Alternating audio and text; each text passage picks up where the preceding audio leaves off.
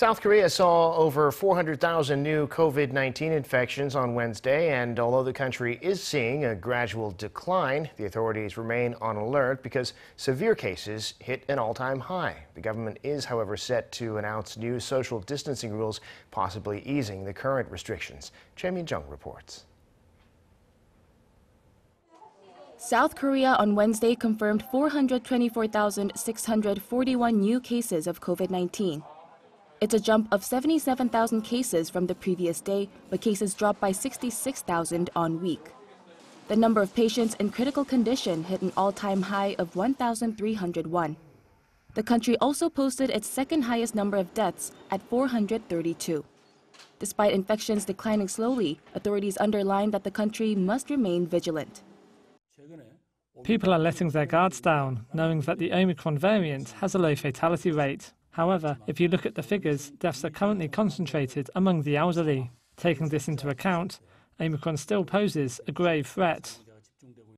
Kim, however, also gave reassurances that Korea's fatality rate is much lower than countries with a similar number of cases, thanks to the public's efforts. Officials also said that the number of severely ill patients is lower than the initial forecast of up to 2,000. Thanks to oral pills and Omicron's comparatively mild effects, officials have downgraded their projection, saying severe cases will reach a maximum of 1,700. Meanwhile, starting Wednesday, local clinics and hospitals can treat COVID 19 patients face to face, increasing access to medical facilities for those infected. People can now see doctors after making a reservation, even if they are under quarantine. Beginning Thursday, children aged 5 to 11 will be able to get vaccinated against COVID 19. Around 1,200 medical centers nationwide will be providing Pfizer shots for young children.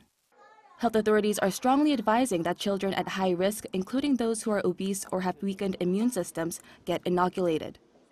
Authorities are also considering relaxing current social distancing rules with revisions to be announced on Friday. The changes are likely to include expanding the social gathering cap to 10 people from the current 8 and extending business hours to midnight. The revisions are set to be implemented next week. Choi Min-jung, Arirang News.